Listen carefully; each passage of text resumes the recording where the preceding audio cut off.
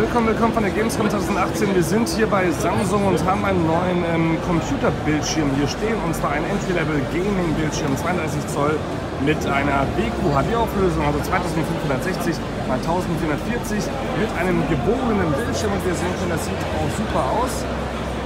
Und in Deutschland wird sie nur in Silber und in Schwarz, wie wir sehen können. Da gibt es noch mal in Weiß, aber wir sehen können hier in Schwarz ähm, jetzt gerade ausgestellt. Ich zeige gleich die Anschlüsse. Zuerst noch kurz zum anderen technischen Daten, wie zum Beispiel, dass wir hier 300 Kandela Helligkeit haben, ein Kontrast von ähm, 3000 äh, zu 1 und einen Blickwinkel, wie ihr sehen könnt, auch sehr gut ist mit 178 Grad, was mittlerweile Standard ist.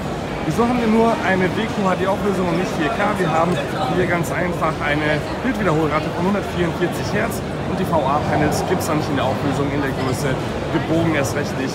Ähm, aber das kommt dann vielleicht in ein paar Jahren. So, schauen wir uns die Anschlüsse ganz kurz an. Wir haben nämlich zwei, äh, zwei HDMI-Anschlüsse, einen DisplayPort und einen Kopfhöreranschluss, nämlich hier hinten beziehungsweise auch der Stromanschluss darf nicht fehlen.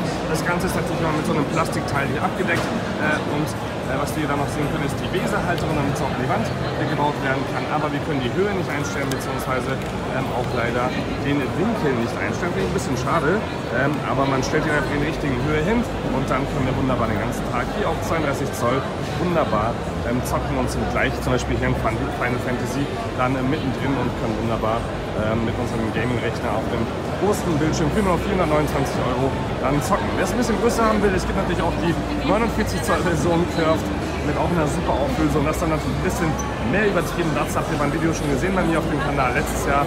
Ähm, der kostet auch äh, mehr als doppelt so viel. Nämlich hier der ähm, CHG 90. Gesagt, 49 Zoll, aber bleiben wir bei 32 Zoll für 429 Euro. Ist doch ein ganz guter Preis. Bis zum nächsten Mal. Mein Name ist Ballasch. Wir sind auf der Gamescom 2018 bei Samsung gerade. Bis zum nächsten Mal und tschüss.